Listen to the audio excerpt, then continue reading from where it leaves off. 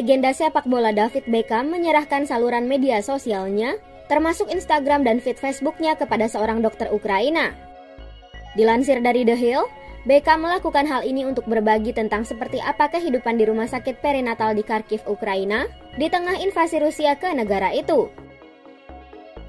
Superstar sepak bola dengan 71,8 pengikut di Instagram itu memberikan akunnya kepada Irina, kepala unit perinatal yang disebut membantu para ibu melahirkan dengan selamat saat kota itu menghadapi serangan sengit.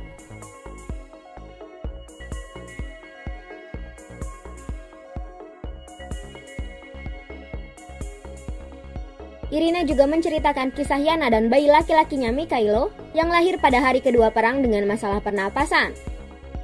Dokter itu juga menunjukkan kepada penonton bayi yang baru lahir bergantung pada generator oksigen yang disumbangkan oleh UNICEF.